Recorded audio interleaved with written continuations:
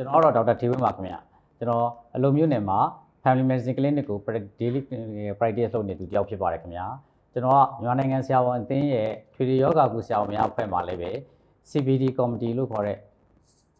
ဆရာဝန်များရဲ့စင်စက်မပြတ်ဟိုဒီပေါ့ဓမ္မအကုန်ရင်မြင့်တင်ရေး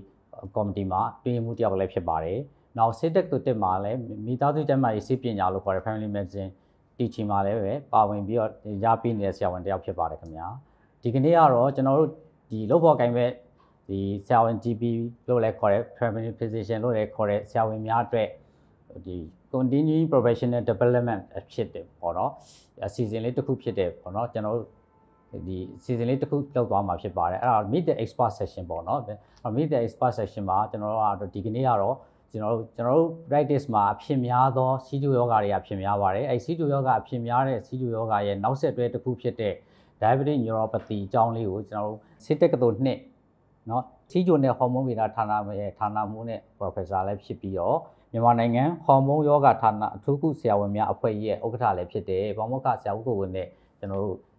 ဆွေးနွေးတင်ပြပါမှာဖြစ်ပါတယ်ခင်ဗျာမင်္ဂလာပါဆရာခင်ဗျာမင်္ဂလာပါဆရာဦးထူးဝင်းဟုတ်ကဲ့ပါဆရာခင်ဗျာကျွန်တော်တို့ဒီနေ့ကျွန်တော်ခုနကပြောခဲ့တဲ့ diabetic neuropathy လေးအကြောင်းဆရာနဲ့ကျွန်တော်နဲ့ကျွန်တော်သိနေတာလေးကိုဆရာကိုဆွေးနွေးပြရစီပါခင်ဗျာဟုတ်ကဲ့ပါကျွန်တော်ဒီတောက်ဖြည့်ရှင်းပါမယ်ဟုတ်ကဲ့ခင်ဗျာဟုတ်ကဲ့ပါခင်ဗျာ အော်ကျွန်တော်တို့ဒီ diabetes မှာဆိုလို့ရှိရင်ဒီ neuropathy အားဆိုလို့ရှိရင် one of the microvascular complication တစ်ခုဖြစ်တယ်ပေါ့နော်ဆရာဒီနေ့သူ့ရဲ့ subject ကနည်းနည်းလေးကျေပြန့်တော့လေကျွန်တော်တို့ရှင်းရှင်းလေးလေးသိသွားအောင်ဒါမှ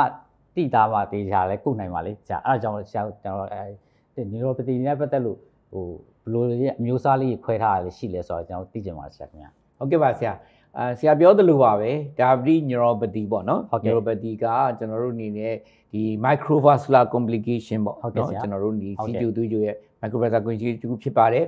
သူကဘယ်လောက်ထိ common ဖြစ်လဲဆိုတော့ကျွန်တော်တို့က50%ဆိုဆိုတော့တော်တော်များတယ်နှစ်ယောက်တစ်ယောက်နှုံးလောက်ကိုဆရာတို့အနေနဲ့ဒါတွေ့ရမှာဖြစ်ပါတယ်ဟုတ်ကဲ့ဆိုတော့အဓိကတော့ကျွန်တော်တို့ဒီ symptom အနေနဲ့ကတော့သူတို့ကဘာတွေနဲ့လာကြလဲဆရာတို့လည်းအများကြီးသိကြတယ်ကိုလူနာတွေကခြေောက်တွေထုံနေကျင်နေကြိုက်တယ်နော်ပူတယ်ပေါ့ အဲ့ဒါမျိုးတွေနဲ့အများဆုံးလာကြတယ်သူတို့လာအများဆုံးလာမှာဒါပဲလာတာဟုတ်ကဲ့ဒါ mutually ကအများဆုံးလာတာပေါ့နော်အဲ့တော့ကျွန်တော်တို့ကအများဆုံးတွေ့ရတဲ့သူမှာတော့ classification တွေရှိတယ်ရှိတဲ့အခါမှာကျွန်တော်တို့ကဒီ diabetes preferential neuropathy ပေါ့နော်ဒါကိုကျွန်တော်ဘယ်လိုခွဲထားလဲဆိုရင်ဒီကတော့သူက diffuse neuropathy လို့ခေါ်ပါတယ်ဒီ diffuse neuropathy ကကျွန်တော်တို့အများဆုံးတွေ့ကြတဲ့အဲကျွန်တော်တို့ចောင်းသားဘွားတော်လည်းစာတင်ကြတယ် glove and stocking area ပေါ့နော်လက်လက်ကောက်ဝတ်ဒီနေပါခြေချင်းခြေထောက်ကနေပြီးတော့ဒူးအောက်ပေါ့နော်နောက်ပိုင်းပေါ့ပုံထဲမှာလည်းပြထားပါတယ်ဟုတ်ကဲ့ဆိုတော့ဒီဒီခုနပြောတဲ့ glove and stocking area မှာကျွန်တော်တို့ကထုံနာကျင်နာကြိုက်တာတွေလက္ခဏာတွေအဲ့ဒါကျွန်တော်တို့အများဆုံးတွေ့ရမှာဟုတ်ကဲ့ဆရာအဲ့တော့ကျွန်တော်တို့ကဒီစီးကျုပ်သွေးကျုပ်ကြောင့်ဖြစ်တဲ့နော်ညူရိုပတီလာလို့ပြောဖို့ဆိုတာကအဓိကကတော့သူ့မှာစီးကျုပ်ရှိရဟုတ်နံပါတ်1က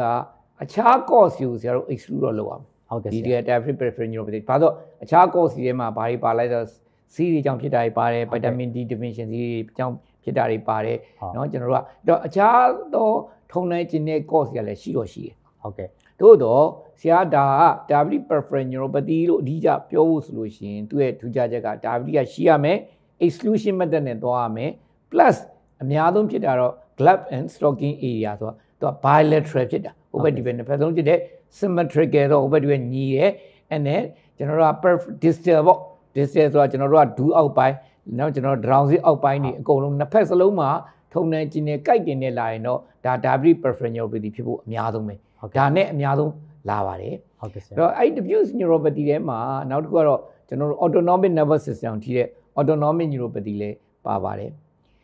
တကယ်လို့များအဲ့ဒါကအများစုကတော့80ရာခိုင်နှုန်းလောက်ကို85ရာခိုင်နှုန်းလောက်တော့ CO2 CO2 ကျုပ်တမတွေကဒီပုံစံနဲ့ပဲလာတယ်ဟုတ်ကဲ့ပါဆရာသို့တော့အခြားသော25%က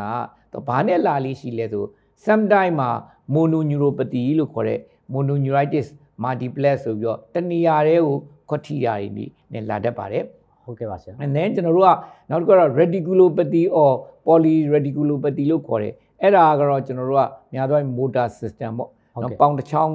နာတာတွေပေါင်တစ်ချောင်းကြိုက်တယ် and then ပေါင်တစ်ချောင်းကအားမရှိတာတွေဖြစ်တတ်တယ်ဆိုတော့ဒီလိုပုံစံနဲ့လာတတ်ပါတယ်အဲ့တော့ကျွန်တော်တို့ခြုံပြောရင်ကျွန်တော်တို့အများဆုံးတွေ့ရမှာကတော့ bilateral symmetrical distal peripheral neuropathy အဲ့ဒါက85ရာခိုင်နှုန်းဖြစ်ပါတယ်နောက်တစ်ခုကတော့ဆရာတို့သတိထားမှာ autonomic neuropathy လည်းရှိနိုင်ပါတယ်နောက်တစ်ခုကတော့ကျွန်တော်တို့ကပေါင်တစ်ချမ်းလုံးထုံနေကျင်နေကြိုက်တယ်ခြေထောက်ကပေါင်ကအားမရှိဘူးဆိုပြီးတော့နော် radiculopathy ဆိုတာနဲ့လာတတ်တယ်လို့လက်ဖြားခြေပြားလေးတနေရာတဲ့ကိုကွက်ပြီးတော့ ဖြစ်တဲ့ mononeuritis multiplex ပေါ့နော်ဒါမျိုးနဲ့လည်းလာတယ် sometime မှာအဲ့ mononeuritis multiplex ကကျွန်တော်တက်နပ်ပေါ်စီနဲ့လာတတ်တယ်ဟုတ်ကဲ့ဆရာနော်ကျွန်တော်ကမျက်ခုန်တွေပြုတ်ကြပြီးတက်နပ်ပေါ်စီနဲ့လာတတ်တယ်ပေါ့နော်အဲ့ဒါတွေကနေဒီပုံစံနဲ့အများဆုံးလာတယ်လို့ကျွန်တော်တင်ပြပါရစေဆရာဟုတ်ကဲ့ပါဆရာခင်ဗျာအဲ့တော့ကျွန်တော်ဒီနေ့မှလည်း slide လေးပြထားပါတယ်ကျွန်တော်ဒီနေ့ slide လေးထဲမှာကျွန်တော်တို့ကဘာကိုအဓိကပြောသေးဆိုတော့ diffuse neuropathy မှာကျွန်တော်တို့က small fiber neuropathy တို့ large fiber neuropathy တို့အဲ့လိုခွဲထားရရှိတယ် mix ဖြစ်တာတွေရှိတယ် နော် mononeuritis multiplex လို့ခေါ်တဲ့ atypical form မှာကျွန်တော်တို့ကခုနကဒီ cranial nerve တွေထိတယ် peripheral nerve တွေထိတယ်ဥပမာဆိုတော့သူက nerve တွေတေချာထိတယ်မှာတက်နပ်ပေါ်စီရတတ်တယ်အာနာတွေ median တွေ femoral တွေ peroneal တွေအဲ့နေရာလေးမှာကွက်ကွက်ပြီးဖြစ်တာတွေရှိတယ် radiculopathy ဆိုရင်တော့ lumbosacral polyradiculopathy တို့ proximal motor amyotrophy ပေါ့ diabetic amyotrophy လို့လည်းခေါ်တာဟုပေါ့တ်ကဲ့ဆရာဒါမျိုးတွေနဲ့လာတတ်တယ် autonomic မှာတော့နောက်ပိုင်းမှာလည်းကျွန်တော်တို့ဆွေးနွေးထဲမှာပါမယ်ထင်ပါတယ် cardiovascular ကိုထိတတ်တယ်ဟုတ်ကဲ့ဆရာ genitourinary ကိုထိတတ်တယ် gastric ကိုထိတတ်တယ်ဟုတ်ကဲ့ and then hypoglycemia awareness တို့ abnormal pupillary function လို့ဒီလိုမျိုးတွေခွဲထားတာရှိပါတယ်ဆိုတော့ဒီကောင်တွေကဒီကောင်တွေကိုတတိပဲမထားမိလိုက်လို့ရှိရင်ကျွန်တော်တို့ကဘာဖြစ်တတ်လဲဆိုတော့နောက်ပိုင်းမှာကျွန်တော်တို့တွေကထုံနေကျင်နေအဲ့တော့သူကဆူးဆူးလို့ဆူးမှမသိဟုတ်ကဲ့မသိတဲ့အခါမှာအနာဖြစ်မှသိအဲ့တော့မှခါလေခြေထောက်ကအနာဖြစ် အဲ့ဒါ sepsis ဝင်ဖျက်ရတဲ့အထိတောင်ကျွန်တော်တို့ရောက်သွားတာရှိပါတယ်ဟုတ်ကဲ့အဲ့မှာမှတစ်ခါထပ်ပြီးတော့ဒီ distal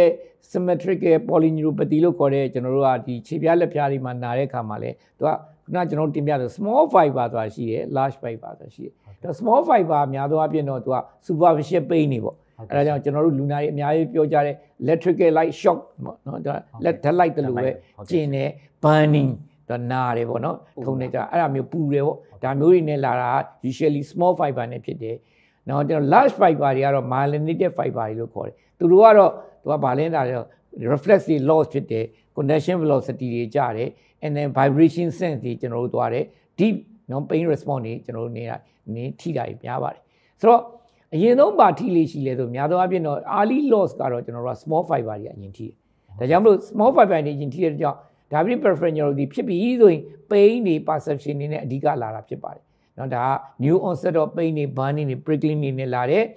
နောက်ပိုင်းမှာတဖြည်းဖြည်းဆိုးဆိုးလာရင်တော့ large fiber တွေကိုထိလာတဲ့အခါမှာမှ touch တွေကျွန်တော်တို့နော်ကျွန်တော်ထိတယ် vibration တွေထိတယ်ဒါကြောင့်မလို့လူက numbness တွေရပြီ loss of နော်နော်ကျွန်တော်တို့က vibration ဆက်နဲ့ loss of balance တွေဖြစ်တတ်တာကိုတွေ့ရပါတယ်ဆိုတော့ဒါလိုပုံစံနဲ့အများဆုံးလာတယ်အဲ့တော့ဆရာတို့အနေနဲ့ distal peripheral neuropathy ကတော့ mainly ဖြစ်ပါတယ်အဲ့ဒါနဲ့ပဲလာများပါလိမ့်မယ်ဆရာတို့ခုနဆရာပြောရတော့စူးကနေစူးကနေလေးကြတော့ small fiber ပေါ့နော် small fiber ပါဆရာဟုတ်ကဲ့ပါဟုတ်ကဲ့အဲ့နဲ့စူးအက်ကလေးစူးတယ်လို့မှန်ပါတယ်ခင်ဗျမှန်ပါတယ်ဟုတ်ကဲ့ thank you ပါဆရာအဲ့တော့ကျွန်တော်တို့ဒီ diabetic neuropathy ကိုလေ့လာကုသမှုပေးတဲ့အချိန်မှာဆရာရဆရာတို့ပြောပြောနေဆရာတို့ချိန်လက်ချာတွေကျွန်တော်နားထောင်တဲ့အခါမှာဆရာတို့ပြောရတာအဲ့မှာတော့ optimize glucose control ရဖို့အဓိကဖြစ်တယ်လို့ဆရာတို့ပြောပါတယ် အဲ့ဒါကြောင့်အဲ့လိုကျွန်တော်တို့အဲ့လိုမျိုးနေရာမှာကျွန်တော်တို့က clinical practice မှာဘယ်လိုဖြစ်လဲဆိုတော့ patient တွေကဆေးကြိုကတက်တာကြီးကြားတယ်ဖြစ်တယ်ဆိုတက်ရင်လည်းအရင်တက်အရင်လည်းကြားတယ်ဖြစ်တယ်အဲ့ဒါမျိုးပြဿနာတွေကတွေ့ရပါဆရာအဲ့တော့အဲ့ဒါမျိုးပြဿနာတွေဖြစ်လာလို့ရှိရင်ကျွန်တော်တို့ဘယ်လိုလေးဖြေရှင်းရမလဲအဲဆရာလေးဆက်ပြီးတော့ရှင်းပြအောင်ဆရာခင်ဗျာဟုတ်ကဲ့ဆရာအဲ့တော့ကျွန်တော်တို့ကဒီ diabetic peripheral neuropathy ရဲ့ main cause ကတော့စီးကြိုထိန်းလို့မရလို့ပဲဟုတ်ကဲ့ပါအဲ့တော့ဆရာတို့စီးကြိုရတဲ့အနေနဲ့ထိန်း ဟုတ်ကဲ့ เนาะကျွန်တော်တို့လိုချင်တာ A1CO7 အောက်ကိုကျွန်တော်ကြားရမယ် ဟုတ်ကဲ့ အဲ့ဒါကိုကျွန်တော်ကဘာဆေးတုံတုံ ဟုတ် เนาะတုံတုံတော့ optimal glycemic control ရဖို့အတွက်အမှန်တန်အရေးကြီးပါတယ်ဘာလို့လဲဆိုတော့ဒီ pathophysiology of the diabetic peripheral neuropathy ကိုကြည့်ရင် hyperglycemia အဓိကပဲဖြစ်တယ်အဲ့မှာသူကအဲ့မှာ pathway တွေရှိရဆရာနော် polio pathway တို့ PKC pathway တို့ဟဲ့နော် hemo hexosamine pathway တို့အဲ့ဒါတွေကိုထိထိပြီးနောက်ပိုင်းမှာ nerve တွေကိုထိတာပေါ့နော် ဟုတ်ကဲ့ နောက်မဲ့သူတခုတည်းတော့မဟုတ်ဘူး သူက insulin resistant လည်းပါသေးတယ်ဝါတာလည်းပါသေးတယ်ဟုတ်ကဲ့ဒါကြောင့်ဆရာ weight လျှော့ရမှာလည်းဖြစ်တယ်ဟုတ်ကဲ့နောက်တစ်ခုက lipid တက်ရင်လည်းသူကဖြစ်တယ်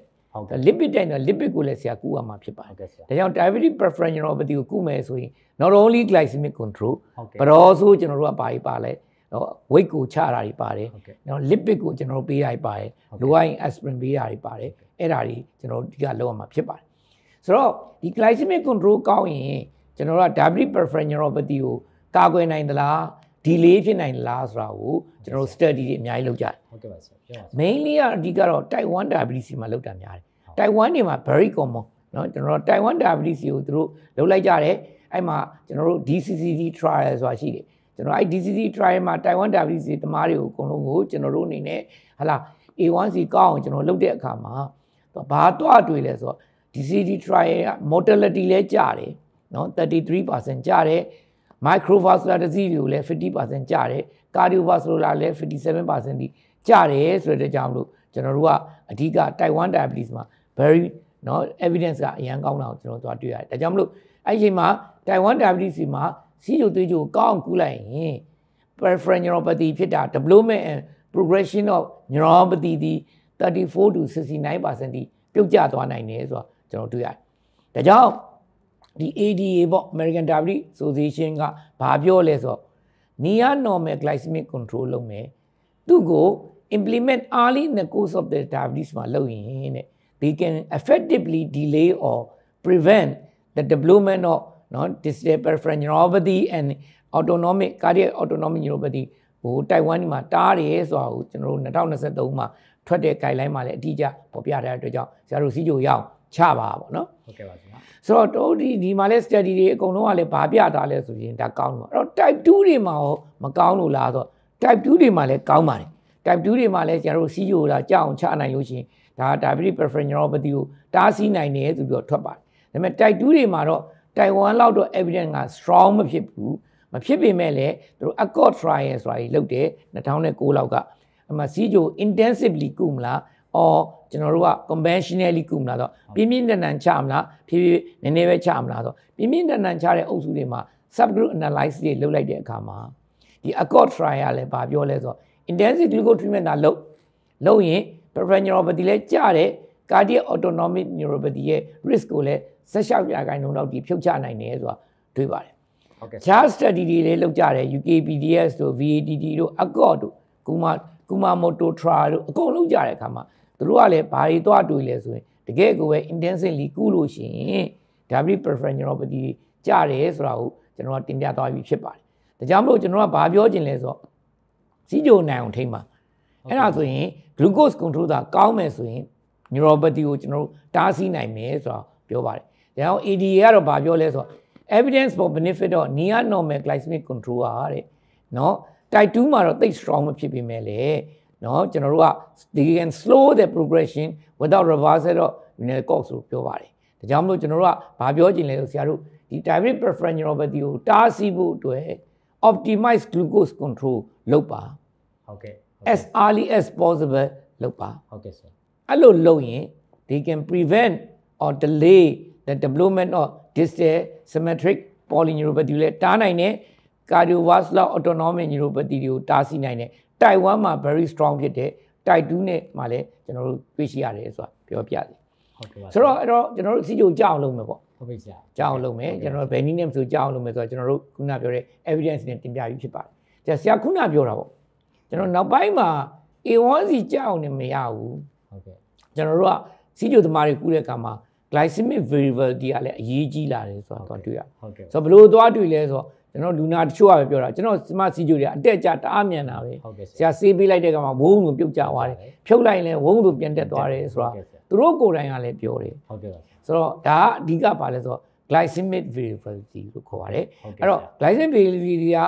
throughout the day ပေါ့တနေ့တည်းမှာနေအတက်ကြဖြစ်နိုင်တယ်လို့တပတ်အတွင်းမှာအတက်ကြဖြစ်နိုင်လို့နော်တနေ့အတွင်းမှာအတက်ကြရလည်းဖြစ်နိုင်တယ်ပေါ့နော်အဲ့ဒါ hyper တွေဖြစ်လိုက် hypo တွေဖြစ်လိုက် hyper တွေဖြစ်လိုက် hypo တွေဖြစ်လိုက်အဲ့လိုဖြစ်တယ် hypo ဖြစ်သွားတယ် သမင်းစားပြီး post prandial ပြန်တက်သွားတော့ glucose fluctuate အရင်ဖြစ်အဲ့လို fluctuate ဖြစ်လို့ရှိရင်နာကျွန်တော်တို့ကတစ်က cardiovascular ကိုလည်းပိုဆိုးစေတယ်ဟုတ်ပြီနော် stroke တွေကိုလည်းပိုဆိုးတဲ့အချိန်မှာ peripheral neuropathy ကိုလည်းပိုဆိုးစေတဲ့ evidence ထွက်လာပါတယ်အဲ့တော့နောက်ပိုင်းမှာဒီ glucose variability ကိုဘယ်လိုတိုင်းရမလဲဆိုတော့တကယ်တမ်းကတော့ဆရာ CGN လို့ခေါ်တာ CGN ဆိုတော့ continuous glucose monitoring နဲ့တိုင်းတော့အရန်ကောင်းတယ် CGN မရရင်တော့ဆရာတို့နေတနေ့ကိုပေါ့နော် fasting မှာတစ်ခါဖောက်တယ်နော်ဒီလိုလူတော့အနာခံပြီးတော့ပေါ့နော် glucose glucose variability ရှိမရှိကိုဆရာမှာ CGM မရှိဘူးမရှိနဲ့7 point လို့ခေါ်တယ်7 point checking လုပ်တယ်လို့ကဘာပြောတာဆိုဆရာတို့ fasting မှာတစ်ချိန်ဖောက်ပါရင် before breakfast after after breakfast before lunch after lunch before dinner after dinner bedtime အဲ့လိုမျိုးလေးနေ့ရက်၃ရက်လောက်ဖောက်လိုက်လို့ရှိရင်ဟုတ်အကြမ်းပြင်းဆရာသိတယ်ဟုတ်တယ် သူ့မှာ glucose variability ရှိမရှိဘူးဟုတ်ကဲ့ even though ဆရာမှာစီဂျင်မရှိရတာမှဒါရှိနိုင်ရှိတယ်ဆိုတော့ကျွန်တော်တို့တွေ့ရဟုတ်ကဲ့ပါဆရာဒါကြောင့်နောက်ပိုင်း guideline တွေကသူ time in range ဆိုတာတွေပြောကြတယ်ဟုတ်တယ်ဆရာနော်နောက်ပိုင်းကျွန်တော်က A1C နဲ့တွေမလုံလောက်ဘူးဟုတ်ကဲ့ကျွန်တော်ကလူတစ်ယောက်ကတနေ့မှာ24နာရီမှာ16နာရီလောက်က control ရဲ့ဝင်ရမယ်ဆိုပြီးတော့သတ်မှတ်ထားတယ်ဆရာဒီထဲမှာကျွန်တော်တို့ A1C ရင်ခုနှစ်ချင်းအတူတူလူ3ယောက်ကိုပြထားပါတယ်ဟုတ်ကဲ့တယောက်မှာကတော့ နော်ဟိုဘက်အစုံသုံးပေါ့ညာဘက်အစုံသုံးကအရန်ကောင်းတယ် time in range က100%ရှိတယ်သူဒီနော်တနေ့ကုန်လုံး24နာရီလုံးမှာကျွန်တော်တို့သတ်မှတ်ထားတဲ့စီးကြိုပမာဏတွေမှာအမြဲရှိနေတဲ့ကြောင့်သူဒီအကောင်းဆုံးနည်းဖြစ်ပါတယ်ဒုတိယအလဲမှာရှိတဲ့လူကတော့ time in range က80ရာခိုင်နှုန်းလောက်ရှိ80ရာခိုင်နှုန်းကတော့80ရာခိုင်နှုန်းလောက်ကတော့သူကဝင်တယ်သို့တော့25ရာခိုင်နှုန်းလောက်ကမြင့်နေပြီးတော့9ရာခိုင်နှုန်းလောက်ကကျတော့သူ့မှာ variability ရှိနေ ဆိုတော့ तू လည်းတိတ်တော့မစိုးသေးဘူးဘယ်ဘက်အစွန်တော့အစိုးဆုံးပဲဘယ်ဘက်အစွန်တော့က तू ကတနေကုန်လုံးမှာနော်ကျွန်တော်ကြည့်လိုက်ရက40%ပဲကျွန်တော်က target တွေဝင်ပြီးတော့နော် very high က40%ရှိပြီးတော့ very low က20%ဒီလိုလူကအဆိုးဆုံးပဲဟုတ်ကဲ့ပါဆိုတော့တဘောပြောချင်တာသူတို့၃ယောက်လုံးကိုကျွန်တော်တို့က3လပြည့်လို့ပြန်စစ်လိုက်ရင် A1 စီကအတူတူပဲဆရာအဲကျွန်တော်တို့ကအခုသတ်မှတ်နေကြတာကျွန်တော်တို့ဆရာတို့လူနာတယောက်ကူတယ်ဟုတ်ကဲ့3လပြည့်ရင် A1 စီပြန်စစ်တယ်9ယောက်ကျွန်တော်တို့ဂျင်းတ်တယ် သို့တော့ဒီအတိုင်းက glucose variability ကိုကျွန်တော်တို့က A1C မပြနိုင်ဘူးဒါဒါကြောင့်မို့ဒီပုံသုံးပုံကြည့်လိုက်ရင် A1C ခုနှစ်ချင်းအတူတူเนาะတချို့လူတွေကစိုးပြီးတော့တချို့လူတွေကဘာလို့เนาะကောင်းနေရလဲဆိုတာဒါ idea ဒါပါပဲအဲ့တော့ကျွန်တော်ပြောချင်တာတချို့ကကျွန်တော် A1C ကကောင်းတယ်ဒါပေမဲ့ तू stroke ရပါတယ်ကျွန်တော် A1C ကကောင်းတယ် myocardial infarct ရပါတယ် ဟုတ်ကဲ့ဆရာ ကျွန်တော် A1C ကကောင်းတယ် neuropathy တွေဝင်တယ် wine ပေါ့ အဲ့ဒါက glucose variability ကြောင့်ဖြစ်တာဖြစ်ပါတယ် ဟုတ်ကဲ့ပါ ဒါကြောင့်မလို့ glucose variability ဟာ diabetic peripheral neuropathy ကိုဖြစ်နိုင်တယ်ဆိုရက် pathogenicity တွေလည်းရှိပါတယ်ဒီမှာလည်းကျွန်တော်ပုံထဲမှာပြထားပါတယ်အဲ့တော့ glucose variability ကိုเนาะကျွန်တော်တို့က fasting glucose variability ဆိုတာရှိတယ် 2HBP glucose variability ရှိတယ်အဲ့လိုမျိုး variability ဖြစ်လေလေလေလေ increase risk of diabetic polyneuropathy ဖြစ်တယ်ဆိုတာလည်းကျွန်တော်တို့ study တွေကပြထားပါတယ် ဟုတ်ကဲ့ เนาะဒါကြောင့်မလို့ဒါကြောင့်မလို့ဒီကောင်တွေကဘာပြောလဲဆိုတော့ glucose variability က strongly associated with the severity of the peripheral neuropathy in patient with type 2 DM ဆိုတာကို study ပြထားပါတယ်ဒါကြောင့်မလို့ကျွန်တော်တို့က glucose variability ကိုကုဖို့လိုအပ်ပါတယ် ဟုတ်ကဲ့ပါဆရာ so not only glucose variability က not only peripheral neuropathy but also သူက cardiovascular autonomic neuropathy လည်းစိုးစေရဲ့ stress study တွေ ရှိပါတယ်ဒါကြောင့်မလို့ကျွန်တော်တို့က glucose variability ကိုကုဖို့လိုအပ်ပါတယ်ဟုတ်ကဲ့ပါဆရာဆိုတော့ glucose variability ကိုအဓိကကုကျင်ရင်ကျွန်တော်ဒီမှာပုံလေးမှာပြတဲ့အတိုင်းအဓိကကတော့အဓိက diet နဲ့ exercise ကပထမပါဟုတ် diet နဲ့ exercise ကပထမဖြစ်တဲ့အတွက်ကြောင့်ကျွန်တော်တို့ကဘာလဲဆိုတော့တစ်ကတော့ low glycemic index food တွေကျွန်တော်တို့ကအစားထိုးရမယ်ဟုတ်ကဲ့ကျွန်တော်စားနေတဲ့ carbohydrate တွေတအားများရင်2 2 hour post prandial တွေတက်တယ်တအားများရင်ဒါကြောင့်မို့ဒါကျွန်တော်တို့ကစားတဲ့အစားတောက်တွေမှာ low glycemic index ရဲ့ food တွေကိုကျွန်တော်စားထိုးတင်တယ်နံပါတ်1ကကျွန်တော်တို့ကဘာလဲဆိုတော့ aerobic and เนาะကျွန်တော်တို့က exercise တွေကိုကျွန်တော်လုပ်တင်တယ်အဲ့ aerobic exercise တွေလုပ်ရင် they reduce the all the index of glucose value ကပြောပြထားပါတယ် ဟုတ်ကဲ့ပါ နောက်တစ်ခုက frequent interruption of prolonged sitting ပေါ့ကြာကြီးထိုင်တာကိုကျွန်တော်တို့ကျွန်တော်တို့ကဒါကာကွယ်မှာဖြစ်ပါတယ် ဟုတ်ကဲ့ အဲ့ဒါဆို they can improve the fasting glucose and night time glucose variability တို့ကပြထားပါတယ် and then နော် exercise in the postprandial state after breakfast ဆိုရင် they can decrease the glucose excursion ဆိုတာလည်းပြောပါတယ်ဒါကြောင့်ဒါမနေ့စာစားပြီးသွားလို့ရှိရင် exercise လေးလုပ်ရင်ကျွန်တော်တို့ ਨੇ post glucose period ကိုကျွန်တော်တားဆီးနိုင်တယ်ဆိုတာ ဒါ non pharmacology ရဲ့ဟုပေါ့တ်ကဲ့နော်ဆရာအဲ့ကြောင့်တော့ဆရာတို့ဒီညနေစာဆိုတဲ့ပြင်ပေါ့နော်ဟုတ်ပါတယ်အချိန်နဲ့အိတ်တဲ့ချိန်နီးလုံးတဲ့အချိန်လည်းမကောင်းမကောင်းဘူးဗျာမကောင်းဘူးဆရာမကောင်းဘူးဆရာဆောဆောဆောအဲ့တော့ဆရာတို့အဲ့ glucose variability ဖြစ်ရင်အဓိကကတော့ဆရာတို့အစားအသောက်ကိုအဓိကထားရမယ် exercise ကိုအဓိကထားမယ်ဟုတ်ကဲ့အဆေးအနေနဲ့တော့ကျွန်တော်က3မျိုးပေါ့3မျိုးမှာ DPP4 inhibitor ဆိုတာအကောင်ဆုံးပဲသူတို့က DPP4 inhibitor တွေနဲ့ဒီမစ်စီနဲ့ရှင်ကြည့်တဲ့အခါမှာ sitagliptin တွေ beta-gliptin တွေအကုန်လုံးဒီကျွန်တော်က glucose variability ကို အကောင်းဆုံးတားဆီးနိုင်တဲ့ဆေးဆိုတာကျွန်တော်တို့တွေ့ရပါတယ် another one ကတော့ကျွန်တော် GLP-1 receptor agonist တွေပေါ့ဆရာကြီးနော်အဲ့ဒါတွေကတော့ laraglutide တို့ azanatide တို့အဲ့ဒါမျိုးတွေကိုကျွန်တော်တို့သုံးရင်လည်းကောင်းတယ် and then rapid soluble insulin တွေပေါ့နော်ကျွန်တော်ကအဓိကတော့ကျွန်တော်က atrapid တော့မဟုတ်ဘူးသူရဲ့ပိုကောင်းတဲ့ဟာတွေပေါ့နော်ဟုတ်ကဲ့သူရဲ့ပိုကောင်းတဲ့တော့နော် novorapid လို့ဟာမျိုးတွေဟုတ်ကဲ့ပါ novomix လို့ဟာမျိုးတွေကဒီလိုဆေးတွေကတော့ကျွန်တော်တို့က glucose variability တော့သူက2 hour ကိုအဓိကထားပြီးကုတော့ ဆိုတော့ဒီဆေးတွေကအဓိကကောင်းနေဆိုတာ secret base security ingredient base တွေပဲ ingredient base ingredient base တွေပဲကြာဆိုတော့ကျွန်တော်တို့နေရပထမဘာပြောသွားလဲဆရာတို့စီဂျိုကိုကြောက်အောင်လုပ်ရမယ်နော်ဘယ်နည်းနဲ့ကြာကြာရရင်နံပါတ်1က glucose ability ကိုကူရမယ်အကောင်းဆုံးက DB4 နဲ့အစားအသောက် exercise တွေဖြစ်တယ်ဟုတ်ကဲ့ဆိုတော့ဒီမှာလဲနောက်တစ်ခုကဘာပြောလဲဆိုတော့နော် type 2 DM တဲမှာ peripheral neuropathy ဖြစ်ရင် risk factor တွေကဘာတွေရှိလဲဆိုရင်ဒီမှာဆရာတို့ကျွန်တော်တို့ slide ထဲမှာလည်းပြထားပါတယ်0.001 နော် statistically significant ဖြစ်တာအသက်ပေါ့အသက်ကြီးရင်ဖြစ်မှာဟုတ်ကဲ့ဆရာဒါပတိ duration ကြာရင်ဖြစ်မှာအဲ့ဒါတွေကိုကျွန်တော်တို့က control လုပ်လို့မရဘူးနောက်တစ်ခါ overweight ဖြစ်ရင်ဖြစ်တယ်အဲ့ဒါရတယ် overweight ကိုဆရာတို့ချရမှာဖြစ်ပါတယ် fasting sugar တွေ A1C တက်ရင်သူကဖြစ်တာအဲ့တော့စီဂျိုကိုကောင်းအောင်လုပ်ပါလို့ကျွန်တော်ပြောချင်ပါတယ်နာသားဝင်တဲ့ microalbumin urea တို့ lipid တက်တာတို့ blood pressure တက်တာတွေကလည်းအကုန်လုံးက diabetic peripheral neuropathy ကိုဖြစ်စေတယ်ဒါကြောင့်မလို့ကျွန်တော်တို့က diabetic peripheral neuropathy ကို ကျွန်တော်ကာကွယ်ဖို့အတွက်တစ်စီဂျိုနိုင်အောင်ထိ glucose stability ကိုလည်းဒါ weight ကိုချ microalbumin ကိုကုလိုအပ်လို့ရှိရင် ACI နေ statin နေ aspirin နေထည့်ဆိုရဲ multi နော် factorial intervention ကအရေးကြီးတယ်ဆိုတာကိုဒီမှာ steno2 study ဆိုတာပြပါတယ်အဲ့မှာလည်း steno2 study က multi factorial လို့လိုက်ရင် autonomic neuropathy တွေကောင်းတယ်ဆိုတာပြောပါတယ်ဒါကြောင့်မလို့ကျွန်တော်အဓိကပြန်ပြီးတော့အနှစ်ချုပ်ချင်တော့စီဂျိုနိုင်အောင်ထိ glucose stability ကိုကောင်းအောင်လုပ်ဟုတ်ကဲ့ဆရာအာချာ multifactorial treatment တွေမှာအကုန်ပေးအဲ့ဒါမှသာ diabetic peripheral တွေကကောင်းမယ်ဆိုတာတင်ပြပါရစေဆရာဟုတ်ကဲ့ပါဆရာခင်ဗျဟောတော်လေးတော်နားလည်သွားပြီခင်ဗျနောက်တစ်ချက်လေးသိချင်တာဆရာရဲ့ဒီ control လုပ်နေတဲ့အချိန်မှာပေါ့နော်ဟာအရန် high ဖြစ်နေတဲ့ patient ကိုကျွန်တော်ကကျွန်တော်ရှိရောက်လာတဲ့အချိန်မှာအရန် high ဖြစ်နေဆိုပြီးတော့ကျွန်တော်ကအမြဲအမြဲအချိန်တိုအတွင်းမှာပေါ့နော်အမြဲ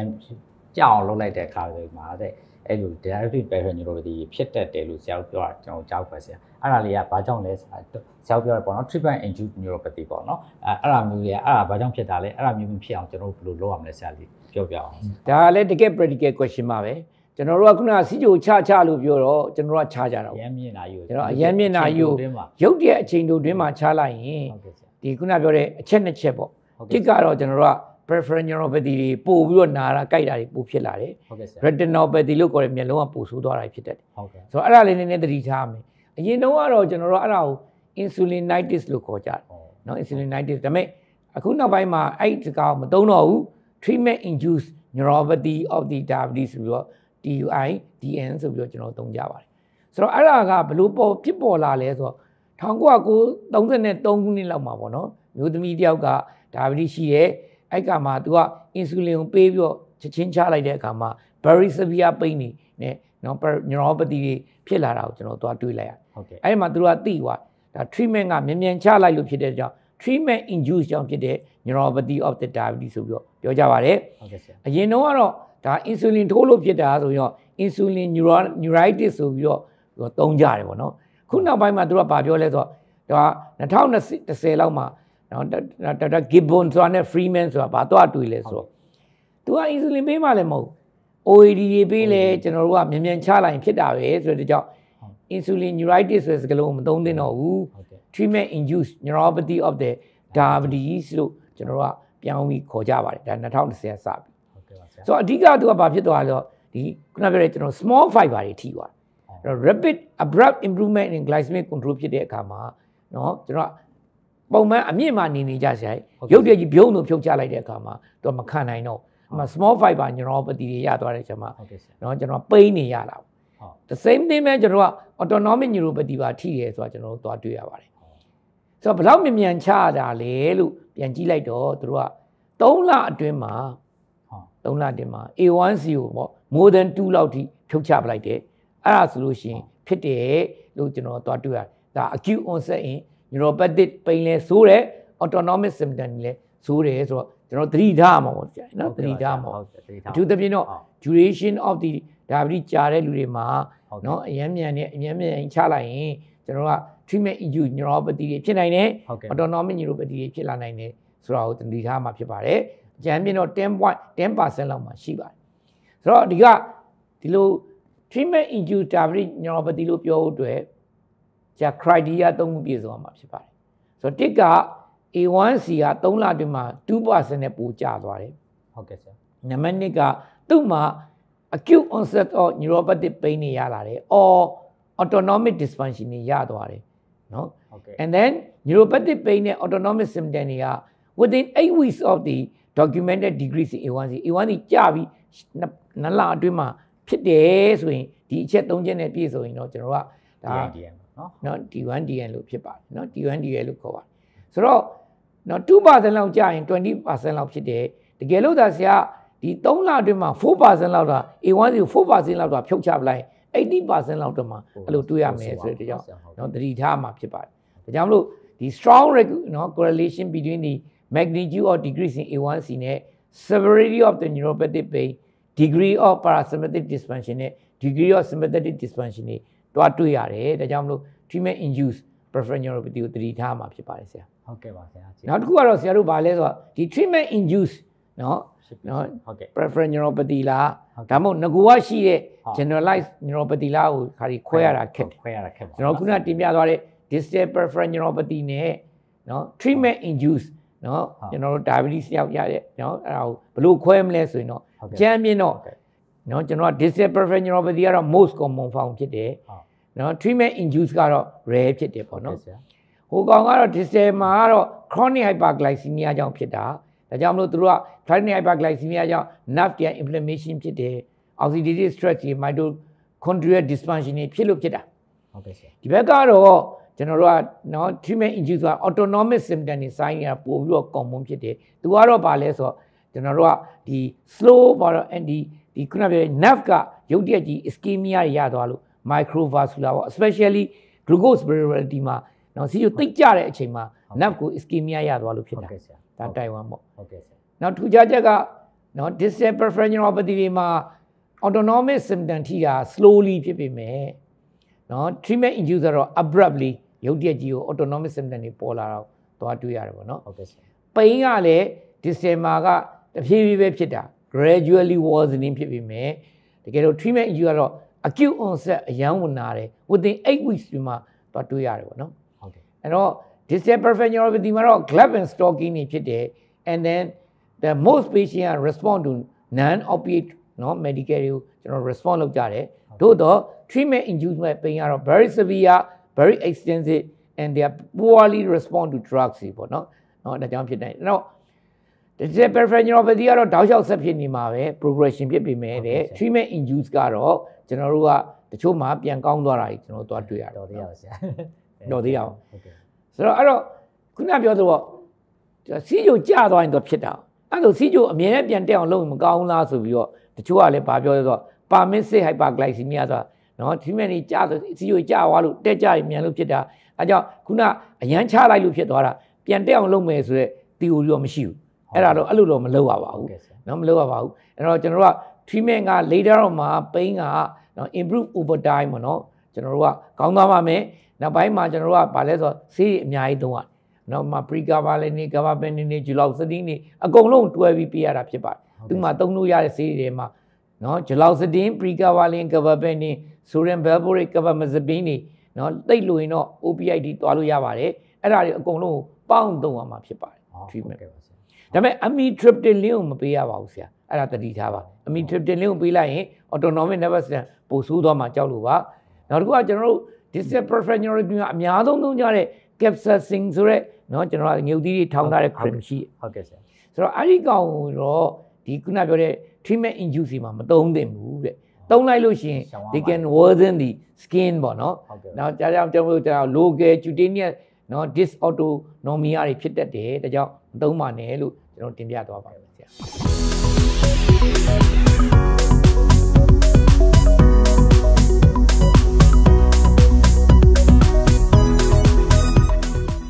CFAM, caring for well-being.